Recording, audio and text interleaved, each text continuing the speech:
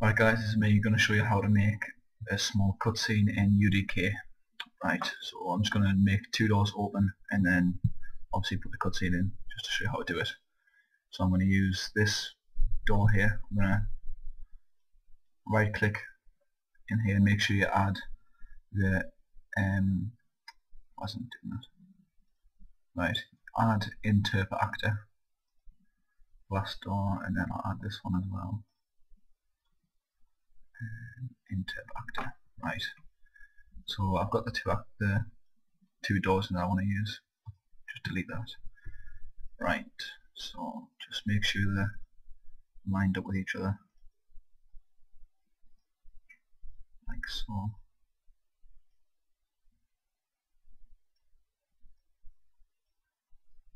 Right, there we go. I'm just going to slide them into place.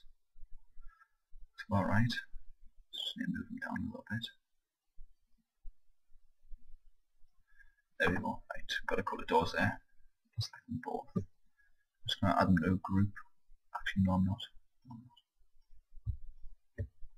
So I'll just slide these down and then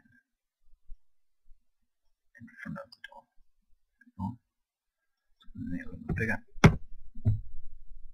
Oh, I screwed it up.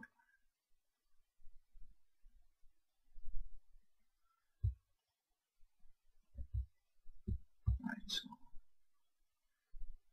right now that the doors are in place, um, I'm gonna see I've got a little button here. I'm gonna just add a trigger there. Add actor. Add trigger.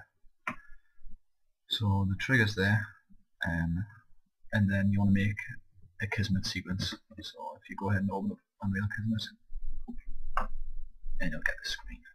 I'm just going to minimize this a little bit and put it there. So with the trigger selected, just right click on Kismet, new event using trigger, just touch, and then right click new matinee. This is just going to allow the camera and the door to move inside right, once you've touched the trigger. So just connect them two and double click on matinee and it should bring it up. There we go. Right, just going to make this 4 seconds long for the doors to move. Uh, click on one of the doors, right click in the empty group, left door, yeah, right click on, sorry, right click that and new movement track. Ta-da! Right, and then just add a keyframe. For those that don't know, keyframe is where you want the door to be after 4 seconds, which is where the little black line is here. So if you add key, and then in the viewport, just slide the door to where you want it to be after 4 seconds. So if you deselect that, and then click on the next door, right click new empty group, right door, right click on that and new movement track.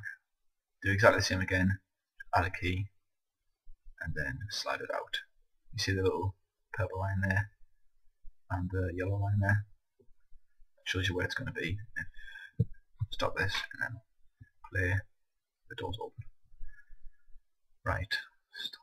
Now for the slightly more tricky but it's not too hard bit you want to add a camera into the level.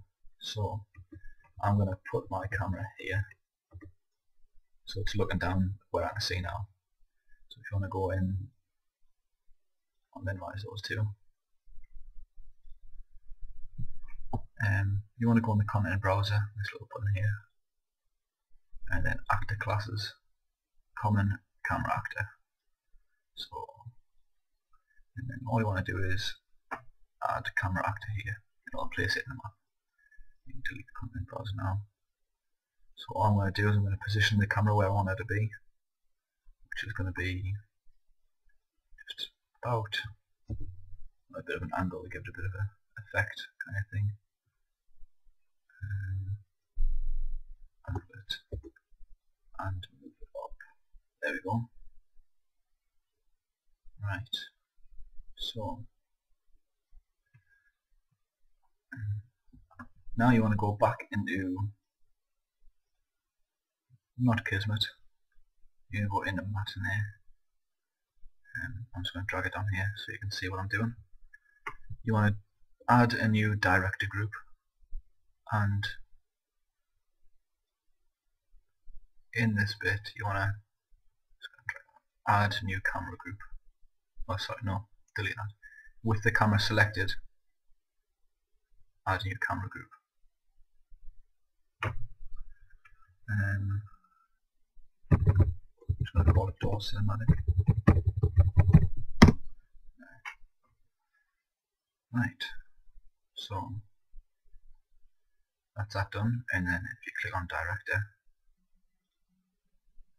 and add a key and you want to cut to the group door cinematic so it's going to cut straight to the camera and what it, it can see so well, see how it's put it there you want to, that's because this line's here I'm going to drag it right back to the start hold down control and drag it So it's right at the very start till the camera ends. And just drag this down just to clear everything up. There we go. And hopefully that should work. So you can cancel that and cross off that. Now got the trigger, got the camera, need lights off so you can see everything and the player start. So I'm gonna build it so I'm just going to pause it now um, and I'll unpause it when it's finished right I'll figure out what was wrong um, basically just wrong the trigger so now just play level